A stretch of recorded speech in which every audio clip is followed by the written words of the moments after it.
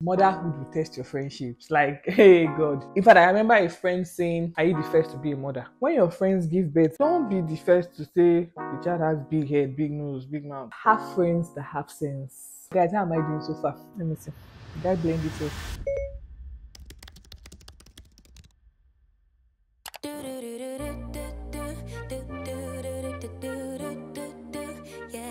Hello guys, welcome back to my channel. It's your favorite doctor, Dr. Choplife in the building. Eh, eh, eh, eh. Thank you guys so much for the love on my previous videos. I'm so grateful. Keep liking, keep subscribing, keep sharing. Don't forget to tell a friend, to tell a friend, to tell a friend. Thank you guys. And also on my cook and chop series, you guys, thank you. Keep showing me love. Keep, please, please. I'm not proud though. I'm begging. Thank you. So guys, today I'm going to be having a brief chit chat. And I thought, okay, ah, let me do my makeup. Hmm. let me try to do my makeup by myself for the first time in seven years. Oh my god. Because last time I remember doing my makeup myself was in 2017. And I'm like, how can a full grown adult not know how to do makeup? So I want to see if I can still remember how to make myself up while I'm giving the we're going to be chatting together. So I'm going to talking about motherhood and how it has affected my friendship. Those that have stayed, those that have gone. Bye bye. Anyway, and in my own case, I became a stepmom first before I had my first biological child. That will be a separate video. So that will be my family and my friends' reaction to hearing that I'm, I want to become a stepmother. I think I'll have a separate video for that. For me, I would say it really affected my friendships in a positive way. Like, I feel like it also revealed my true friends to me because I had my daughter in 2020. That was a pandemic year. So basically, everyone was home, nobody was doing anything. So those that were supportive were supportive, even though clueless, because I mean, among my friends, my close knit friends, I was the first to have a child. So they were basically all clueless. So it was like I was the first mother in my friendship circle. Yeah. But you could tell the ones that were true, the ones that genuinely wanted to support you, and be there for you regardless of the uncertainties that were going to come with being a mom and everything. And then I remember when I had, because I have a lot of friends, so I'm going to be mentioning some names. Please, these are the friends that were close to me at the time. So people like Kumbi, Vanessa, Damilola. Okay, so now I have two Damilolas in my life. So Damilola, let's say okay, the other Damilola in America, one was me. So I'll say Damilola America, Kumbi, Vanessa, all of you, please don't come for me. I'm talking about the friends that were with me at that time. So I'm, I'm this video is about just my close friends. Like my friend Favor, my God, shout out to Favor because she was my craving supplier. So I remember when I was pregnant, like every time you see me in Favor's house, trust me, I've gone there to meet her to order food for me because I was craving something, you know. And then Dami too. I remember when I gave birth Dami knew a lot of things. Yes, I just graduated or I was graduating. I can't even remember because it's pandemic. Yeah, so there was a drawback. Yeah, I was about graduating. But Dami had taken her time to Google a lot of things, being a new mom, what it entailed. So I remember when my daughter, when I had Chimamanda and we got home, Chimamanda did something and I felt that was unusual. And Dami was like, oh no, I'd watched a YouTube video and they said some children do this. And I'm like, oh, Shout out to Damilola. She's in fact, I feel like that deepened our friendship because she was there for me. I mean, we used to live together, so she was there for me. Like if Chimamanda was in her care, I could go to bed because I knew that I'm more safe and sound. I remember all the midnights when Chimamanda is crying, she will carry her, sing for her, just basically be there. Guys, how am I doing so far? Let me see. Did I blend it too? I feel like also priorities change because now I was a mom I could not hang out with them like I would want to. Sorry, guys, I'm trying to find the.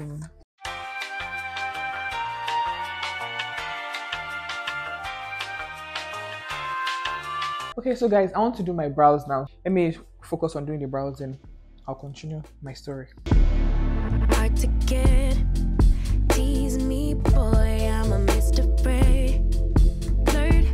One eternity later. Hmm. Okay, guys, I've done my brows. Please, I'm no professional, but I actually like this seven brow pencil because it has like lash strokes, kind of. I don't know if that's what you makeup people call it, but basically. So, as I was saying, okay, let me just also say this motherhood will test your friendships. Like, hey God. I had friends that, you know, we want to go out, everyone can go. And then now I'm a mom. I have a newborn. I cannot go if I want to go. So that's where I feel like empathy and support comes in.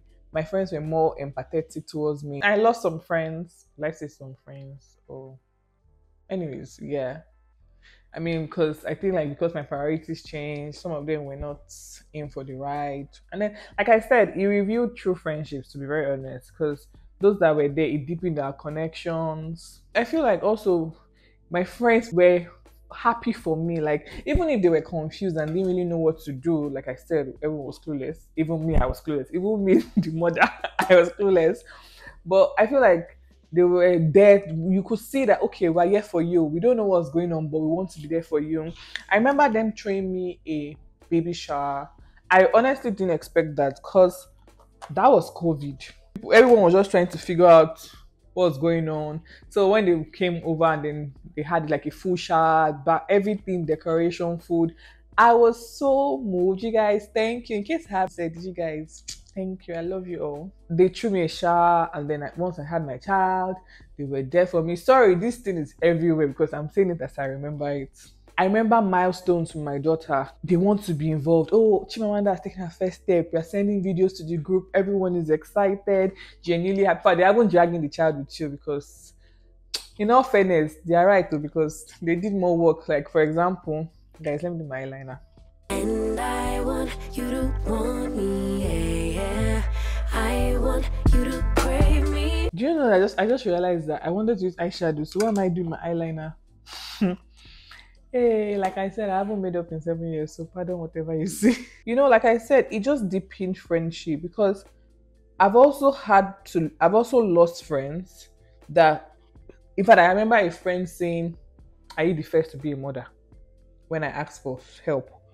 Of course, would I say a friend now? Because she's no longer my friend. So, someone I used to know. I felt like that statement was very insensitive because I'm not the first to be a mom, but this is actually my first time being a mom. So if you could support me in any way, why do you have to be mean? But anyway, like I said, someone I used to know. And also, my friends were so compassionate. You know how people are joking here, and then people will see your ch- child, and then they'll say, "Oh, big head."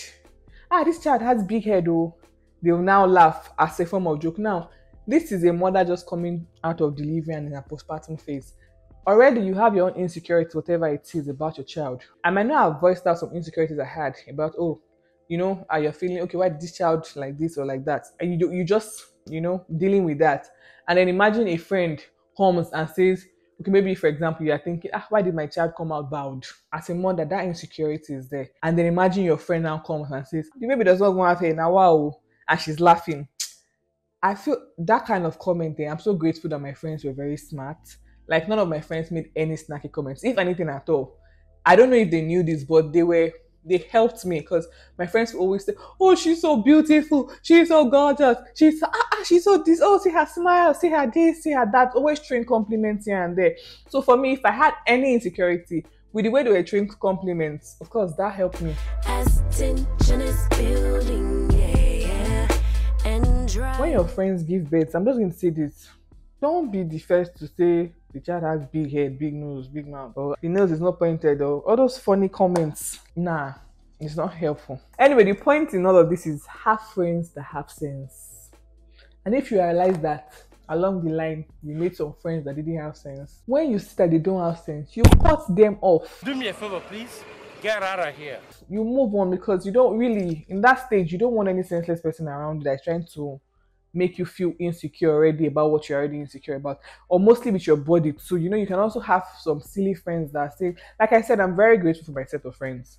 They were very compassionate. Like, like I said, they have sense. So, you know, when I was saying my body, they'll say, ah, babe, see how you snap back. I didn't snap back that fast, but you know, they were telling me I snap back. So in my mind, I'm like, yes, I snap back. So I snapped back, you know. Imagine I was dealing with the fact that, oh, I now have stretch marks and all my body was dark and black and then my friend comes in and says ah baby you're too black you know how you feel so motherhood really test your friendship it can be their reaction to your baby or their reaction to your body but in all in all i'm grateful that yeah i lost a few friends i think one or two Yeah. But the ones that I have now, I can tell you that those babes are solid. Like they have sense. Let me do my liner.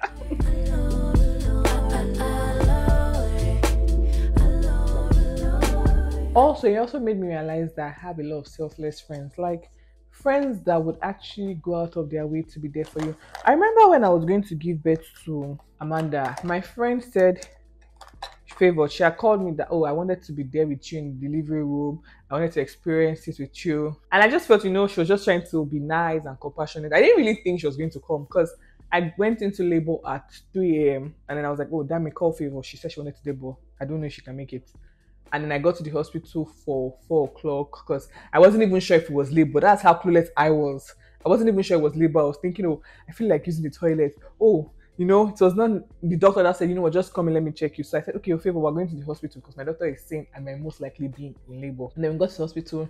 She got there in like 30 minutes. She stayed till I gave birth like around 6:50. She was there till I came back, asked what do you want to eat, said, let her go home and prepare. I, I didn't think she would come out to be with me. Funny thing, they didn't even let her into the delivery room because it was COVID period. So they said, oh no, she couldn't come in because of safety and all those precautions were taken in that period. But like I said, selfless friends. And then I had Dami there. So I have like rhesus negative. So when I had given birth to my daughter, I was supposed to take the anti-D injection and the hospital didn't have it. They had run out of stock. They were saying because of COVID, they were not able to get new stock. Dami practically was calling every hospital in Manila at that time like you guys, my friend must get this injection because she was like, Oh, I don't anything happen to you. But later, the doctor was like, You know what, it's fine. With your next pregnancy, just let them know that you didn't take it and then you can take it since we can't get it here. All that effort trying to, um, you know what it means to call all the hospital in Manila? Just because she wants your friend to be fine. When we go back home, she will make food for me. I remember one time I was saying I wanted to eat wet spaghetti. Like, even me, what is wet spaghetti now that I'm thinking about it? But yeah, I mean, it's all those indulgements that they, your friends will indulge you in. With my daughter's pregnancy, my face was a mess but you know, my friends would keep saying it's okay when you give birth, you can do skincare. Stop focusing on because I was like, ah, see my pimples, see the pimples on my face, see the hyperpigmentation. My friends just kept on reassuring that when you give birth, you can treat yourself. It's okay. You're carrying our baby. You know, there was so much pampering.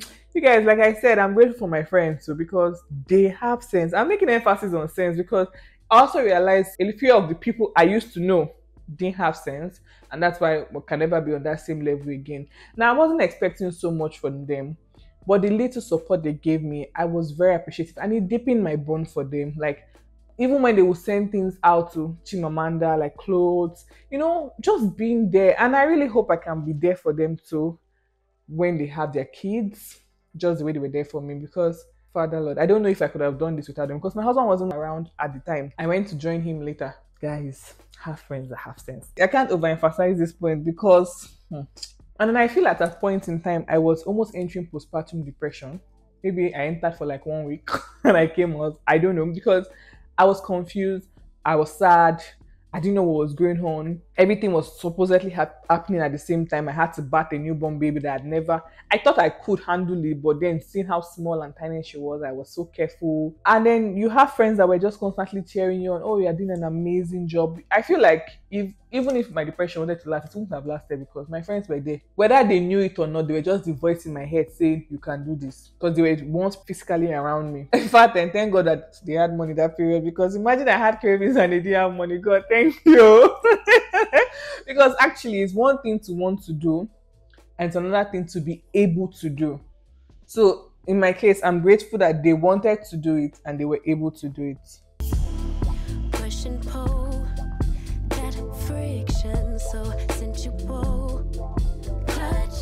I don't know how this makeup is makeup, but people will score me in the comment section. What how did I do?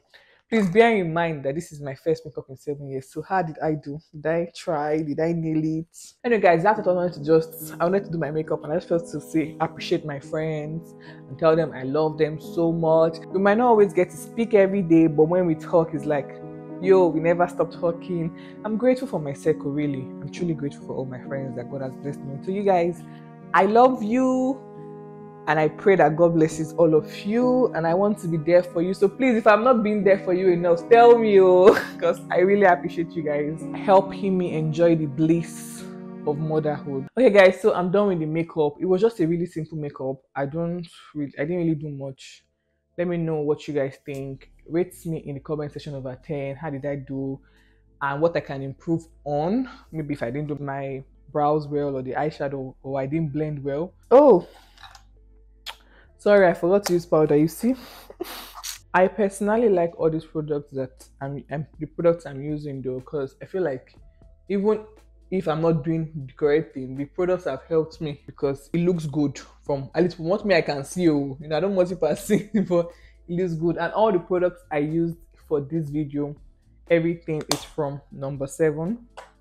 I really like their products because it has helped me. So I think like I can say it's beginner friendly.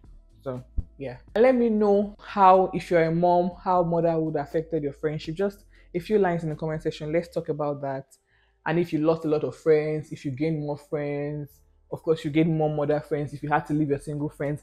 And also you when you were a mother. Because I feel like I'm just saying my friends, my friends, but I also had knew knew that I was intentional about my friendship with them. I didn't want it to seem like, oh, you don't understand, so I don't want to talk to you about it. No. I will still call my friends and say, oh, this is what Chimamanda is doing. Oh, babe, see what Chimamanda did. Even if they're not mothers, I wanted them to still be included in our lives because I feel like some people do that too, where because you have single friends who are not mothers yet, and you've now made more mother friends, you now start telling your mother friends things about your child and neglecting your single friends. No, so please don't do that. Me, I was also intentional too with my friendship. And so that's why we're still loving each other up. See you all in my next video. And like I said, I'm going to be talking about my friends and family's reaction to finding out that I wanted to become a stepmom. that video, you don't want to miss it. all right, guys, bye.